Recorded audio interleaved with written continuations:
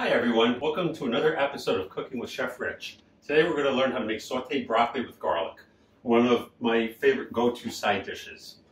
Uh, over here I have a bunch and a half of broccoli. It's already pre-cut, what I call large bite-sized pieces. You'll notice that it's soaking in water. Why is it soaking in water? Uh, I never buy organic. I find it to be outrageously expensive. But I always soak whatever vegetables I buy or wash them very, very well. Broccoli, especially, I soak. Um, one, it gets off any dirt, but it also gets off any pesticides, which is important to me.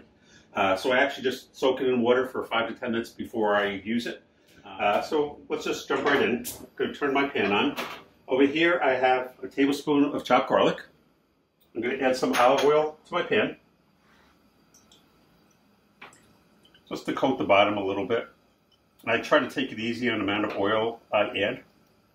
That's probably good. Gonna add my garlic. Gonna flatten that a little bit. In a couple seconds that will start to saute. You don't want to brown garlic. If you brown it, garlic uh, does get bitter. So you want it to be just right before you brown it, we're going to add our broccoli. You're going to notice that so over here, the garlic is starting to turn brown. So I'm going to add my broccoli now. The water is actually going to cool down the pan, but that's okay because as it comes up to a simmer, it will actually help steam the broccoli.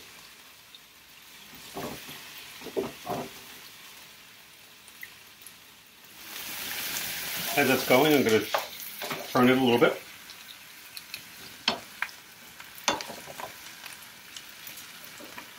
I'm going to season it as I go. I'm just going to season it with some salt and pepper. Uh, when I season, I season from up high. It's called raining. You want to you want the seasoning to kind of rain into it so it goes all over.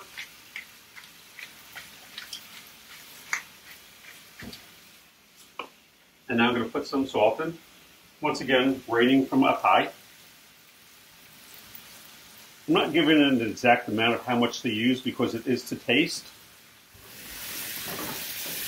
you notice that there's water on the bottom of the pan, and that's more than fine. It's not a problem. As I said, it will develop steam and it helps steam the uh, broccoli. Because I don't put a lot of uh, oil in there, um, you need you still need a way to cook it. So the water acts as a way to cook it. This will take approximately five minutes to cook. Um, every couple minutes I do move it around. If, if at any point the water evaporates totally, and it starts to, the pan gets too hot, I'll add a little bit more water.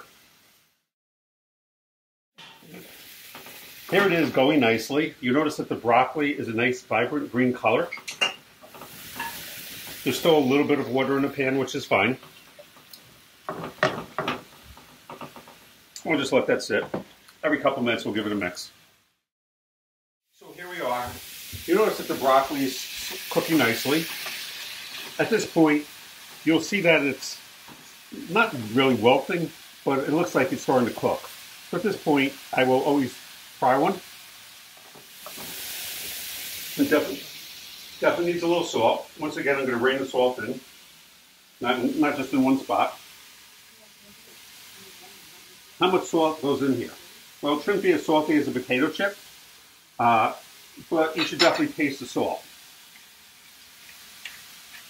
And pepper too. Now this does have probably another minute or two of cooking. Uh, you can hear it sizzling, which means the pan is really, really hot. I'm going to add just a drop, literally just maybe a tablespoon or two tablespoons of water to cool down the pan so it's not cooking so hard. If you can't do this motion, just use a spoon to mix it. After a couple minutes, I'll try it again.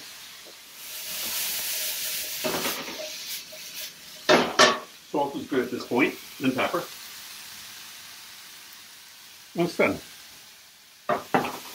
Broccoli should be crunchy, but uh, firm, but still soft enough to chew on.